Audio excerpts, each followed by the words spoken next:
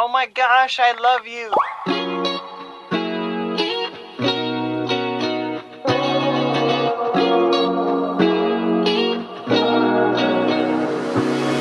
I'm thinking.